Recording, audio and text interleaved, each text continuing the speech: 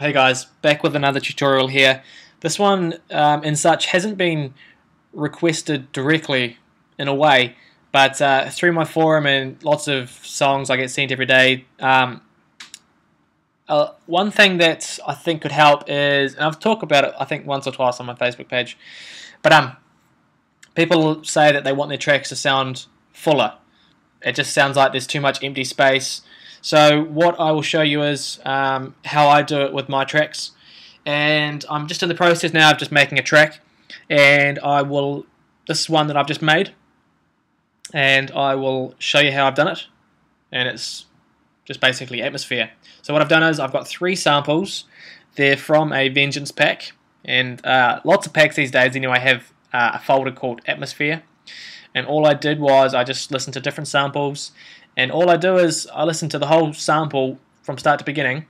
And I don't use the whole sample. I just cut little sections of this atmosphere out and then I loop them. And I'll show you that in a second.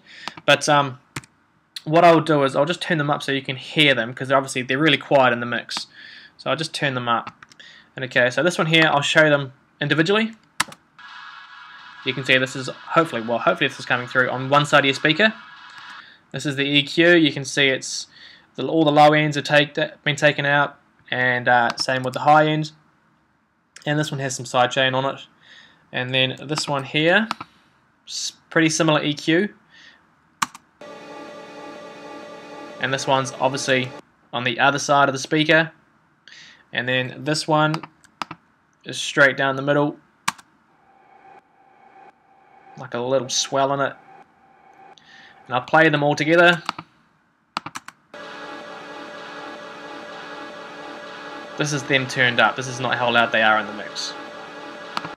Okay, so that is my atmosphere. Now you need to be careful with some samples because some of them actually have a tone, so you know they'll actually need to be put in key to the song you're making.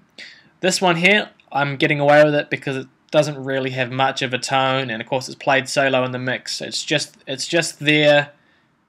It's just there, so it doesn't you know the actual loop or your your chorus doesn't quite sound so empty, which um, which I don't really like the sound of. So, and this is if I just pull these out here using this super cool feature of the Mighty Logic. Okay, if I pull them out, that's exactly how the samples started. So, and if you compare it to these, you know, these blue patches here, all I've done is I've just chopped out the start of that sample, chopped out the start of that sample, and this one here you know, I've, I've chopped out the very start of the sample. So if I just so zoom in there, you know, this part that I've got is tiny. There's only a tiny bit of sound and only a little bit of audio. I didn't worry about the rest of this and the rest of this. Okay, you can see here all I've done is I've used the starting of those samples and I've just looped them like so and I'll um, I'll play them in the track.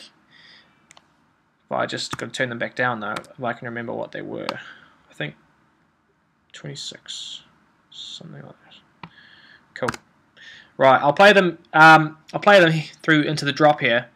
Now this second section here, from 53 to 57, that's probably where you'll hear it better because I think somewhere down there there's like a little white noise, so it's a bit hard to tell. But in this section, in this second section, you might be able to hear it.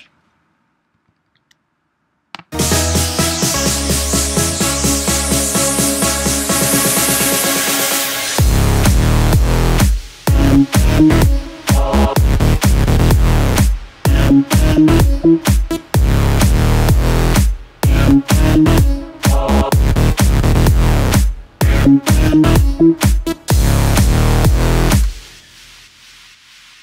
so not sure if you could hear, but in a way, you're not meant to be able to really hear it. It's just you're not you, you just don't want to hear that complete silence.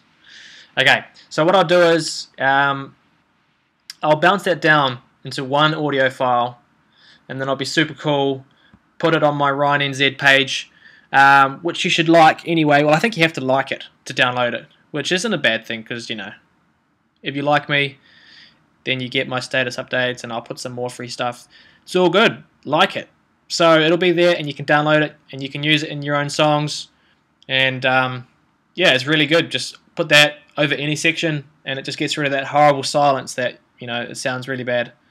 So, thanks for watching, and uh, as always, I'll be back with more free tutorials. Thanks, guys.